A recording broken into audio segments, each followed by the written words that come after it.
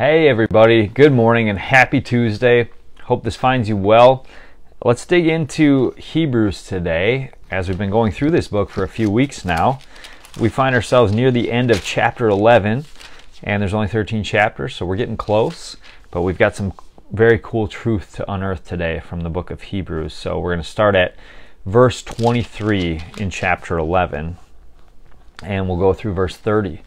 So we'll wait for a few people to join. Good morning. Good morning. How's everybody doing? Let us know. I'm going to read this and we'll talk. By faith, Moses, when he was born, was hidden for three months by his parents because they saw that the child was beautiful and they were not afraid of the king's edict.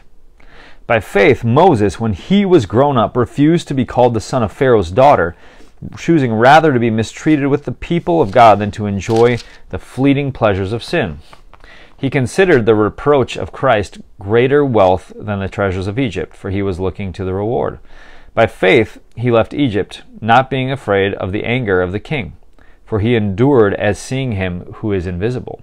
By faith he kept the Passover and sprinkled the blood so that the destroyer of the firstborn might not touch them.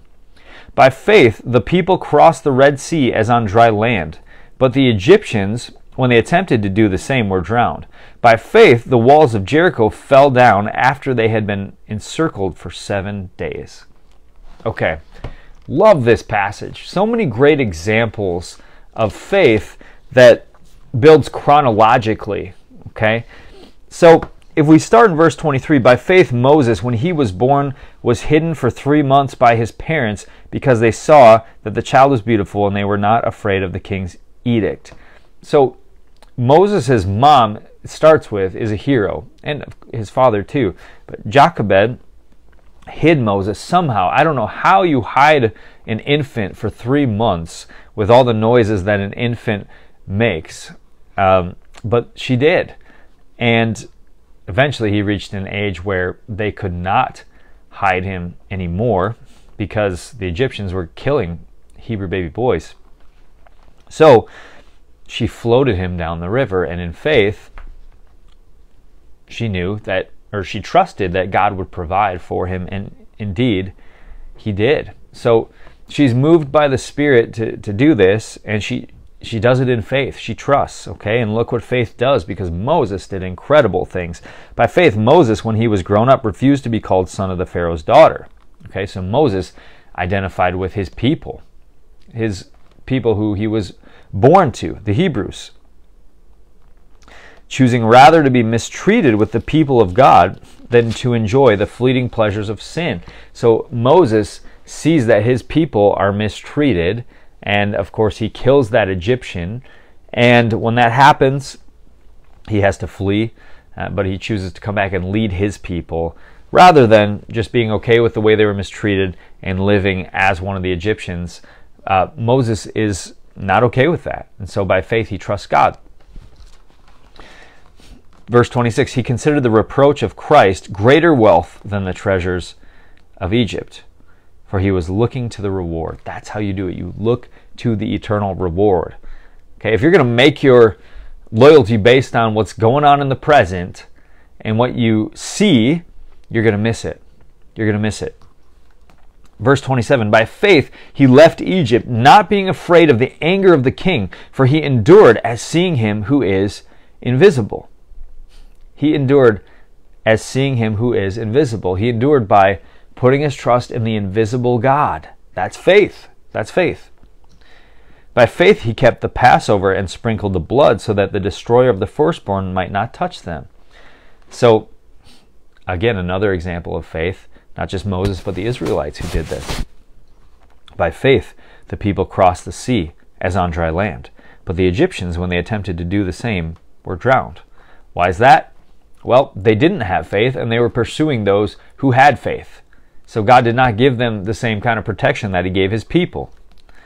In verse 30, by faith the walls of Jericho fell down after they had been encircled for seven days. Uh, that took faith because walls don't crumble with trumpets, right? And drums. Walls crumble with weapons, people. But by faith, God did it. God did it. So we see all these examples um, of the Israelites putting their faith and trust in God and how it worked out for them. And God is, is still the same. In fact, God is the same God back then that He is today. And God doesn't see things as the world does. There was a lot of examples in there of faith where people had to look to the invisible God, not to the present, right? Not to the temptation of the present, like the wealth that surrounded Moses being part of Pharaoh's family. Instead, by faith, he looked to God and he looked to the future, okay? And God doesn't see things as the world does. You know, the world sees certain things as weak, God sees them as strong. Uh, Moses saw himself as weak as far as his speech. Well, God saw him as a strong leader and made him a strong leader. Um, the world sees small as inferior to big. Well, when it came to Israel's greatest king, God saw small as powerful because he picked David. He picked the runt of the litter. Okay? And David was the greatest king that Israel ever knew. So there are two sides to this.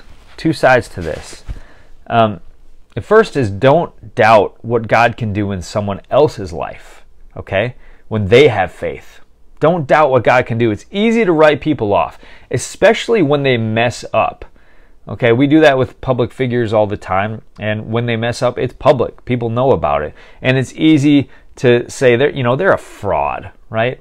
Well, people could have said that to David after the Bathsheba incident, right? But God redeemed that and continued to use David as a great leader of his people. Um, the second part of this is don't doubt what God can do in your life either through faith. You know, we see areas in our life where we fall short as weaknesses, but God sees them as strengths. And here's why uh, those are places where God can show His power. Right? The, the emptiness, the, the holes that we see in ourselves, God fills those up with Him and shows His strength so that people see there's no way that that person is doing this without the help of God. That's how He works, okay? Time and time again. But we have to allow Him to show and use His power. How do we do that? By faith. What's faith? It's, it's trusting in something that you can't necessarily see, trusting in something that is happening in the present and is happening in the future. It takes faith. It takes just trusting in God. God wants us to rely on Him. We are made to rely on Him, okay? And we have to rely on Him when we are in that incident where we have to share our faith. We always think, oh, I need to know more first, or I, I really need to have all the answers before I can share my faith. Step out in faith. Uh, we have to step out in faith when you sign up for that mission trip that you're not totally comfortable with for the first time, when you sign up for that servant event, when you join a small group, when you lead a small group. God fills in the gaps when we have faith, when we trust Him, and He puts people around us to fill in the gaps as well. So, in the same way, you know, Jesus came in meekness and humility. People do not see that as traits of a leader, right? Born in a manger not the way the world pictured, not the way they pictured their Messiah to be either. And yet he accomplished the greatest work possible, defeating sin, defeating death once and for all. And so God works differently from the world. We have to remember that when we have faith. And the beauty is we can look in Scripture and see that God do, did this all the time. He does this all the time. This is who He is. We have to trust. We have to have faith. So don't fear the world when it tells you that you're not enough or threatens things that conflict with your faith, don't get caught up in the present. Don't get caught up in what you can see. Put your faith in the invisible God who has promised he'll be with us. Put your faith in the invisible God who time and time and time and time and time and time again has shown his power through weakness in scripture, in people's lives around us. This is what God does. We put our fear, our love, and our trust in God even when you're outnumbered, even when it seems like you're not enough, and you allow Him to do what only He can do. It takes the pressure off of us and it builds our relationship with Him so we can trust Him more and more. So let's thank Him for that. Let's pray. God, we come before you today and we thank you for the way that time and time again you display your power through weakness. Lord, you did it through your Son by defeating sin and death.